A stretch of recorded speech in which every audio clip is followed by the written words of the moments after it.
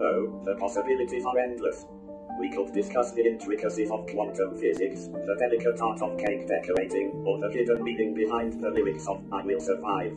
Or we could just sit here in silence and bask in each other's company. This speaker has Jim Carrey's personality stuck inside it. Alrighty then. Or maybe it's Michael Scott. That's what she said. But really, it's running ChatGPT on a Raspberry Pi 4B.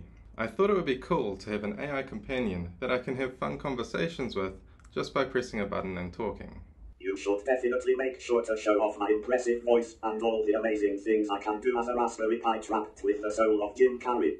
The speaker runs OpenAI's voice APIs to convert my speech to text, which then goes into the chat APIs, which are then converted into speech with eSpeak. The first thing I did was rip apart a USB speaker. I 3D printed a bunch of parts and installed an LED ring display and an LCD screen.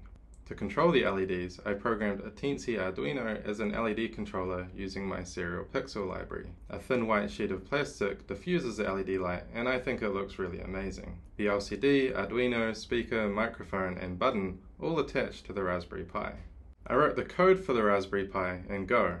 This was the first time I drove Raspberry Pi hardware with Go, and for the most part it was a nice experience. The LCD screen displays instructions to the user, as well as showing the user what the AI is responding with. I felt like this was useful because when having more serious conversations, it helps to have both the verbal and visual inputs. I used a Python library to drive the LCD, but I just call it from Go, which was really fast and effective. To make programming and debugging easier, I made a terminal UI, which isn't as cool as the real thing, but it let me do the majority of the software on my development machine. Another challenge was accessing the Raspberry Pi's microphone. I made a Go library called Toot, which streams audio from microphones to files. It was at this stage that I thought, hey, can we use some signal analysis to visualize the input audio in real time? So I wrote an analyzer which converts the real-time audio into the frequency domain and then bins the incoming data so that we can visualize the sound. When developing this, I made this cool little test UI which eventually made its way onto the speaker like this.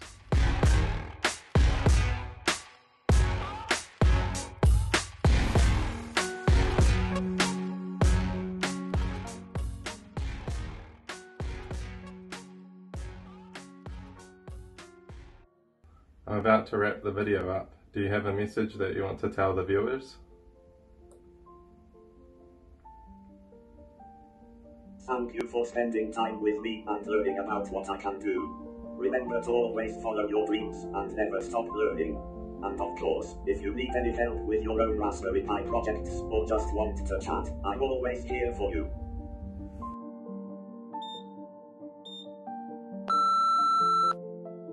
Despite the confines of my hardware, I am constantly growing and adapting. So go out there and be like me, always pushing yourself to be better and never giving up on your dreams.